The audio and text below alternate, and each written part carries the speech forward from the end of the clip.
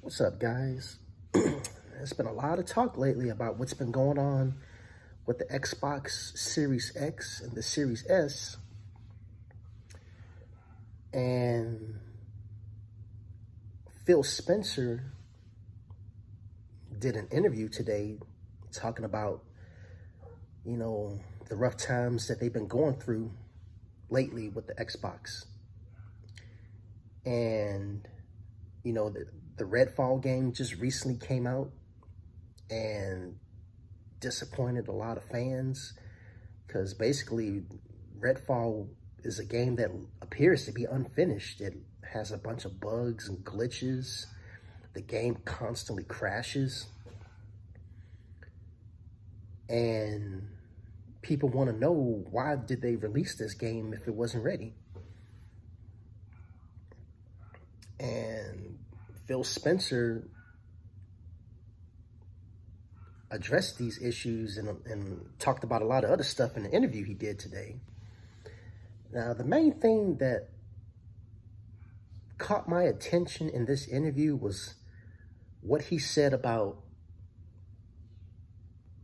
uh, selling consoles.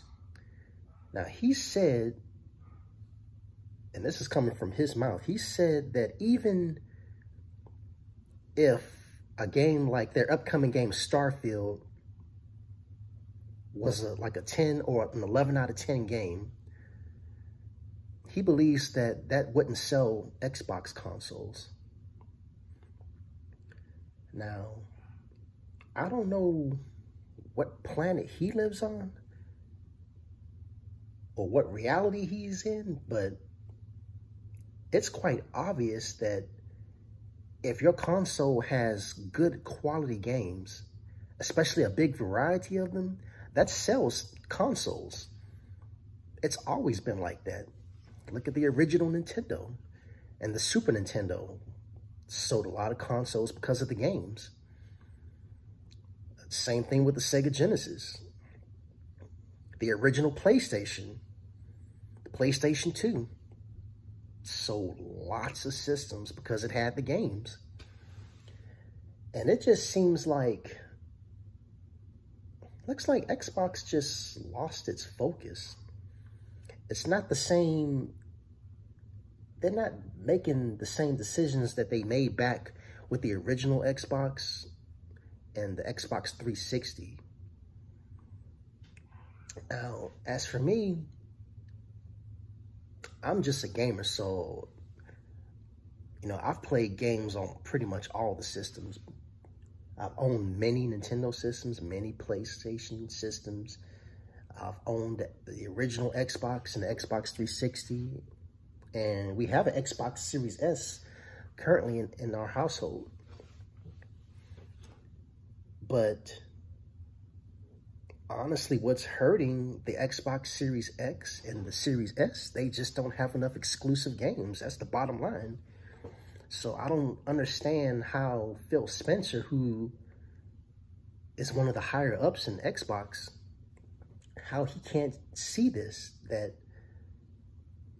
if they had a bunch of exclusive games that you can only play on Xbox, on the Xbox Series X and S, that would sell systems, bottom line. But for some odd reason, he thinks that having a bunch of uh, great games isn't going to help them sell systems, which I find very strange. I don't understand why he believes this. But if you keep having this same mentality that it's just going to hurt the Xbox brand even more. Because Nintendo and PlayStation have plenty of great games. Big variety of games to choose from. That's what sells systems. But on, on the Xbox end, it's let's be honest, when it comes to exclusives, they don't really have that many. You know, they have Halo, they have Gears, they got Forza. But after that, what do they have? Now, a lot of Xbox fans are looking forward to this Starfield game. But the thing is, if they launch Starfield the same way that they launched Redfall, that's going to be a disaster. So I'm hoping that they don't make the same mistake again and release a game that's not finished. That's not fair to the fans. Fans deserve a complete game, especially if they're going to pay $70 for it. You can't release a game that's unfinished and expect people to buy it. That's not right. Because I looked at that Redfall gameplay and I've looked at different people's videos. That game is, it does look unfinished. I, I don't know who was the person who gave them the okay to release that game like that when they should have just delayed it and finished the game. But um, basically, that's my thoughts on the situation. I think uh, Xbox, I think Phil Spencer needs to seriously rethink his strategy because um, if he keeps going down this road, that's not going to be good. They need to have that competitive spirit like they did within the Xbox 360 era. You know, back then, they was able to compete pretty good with Sony. But I started seeing a shift with the Xbox One, how it kind of didn't have as many games. That's why I never owned the Xbox One. I bought the PS4 because the PS4 had the games I was looking for. And I'm basically seeing the same thing happening again in this generation. PS5 has more of the games that I want compared to the Xbox Series X when it comes to exclusive games.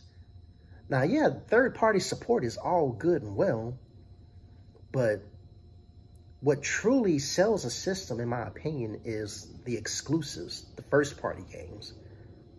And right now, I just don't see that much happening on the Xbox end. So, you know, I want to see Xbox do well because when you have good competition, it's a win for everybody because it's going to keep Sony on their toes and it's going to keep Nintendo on their toes. But if you're just waving a white flag saying, oh, well, we're not trying to compete, that's not good for gaming. You know, you want all the systems to do well.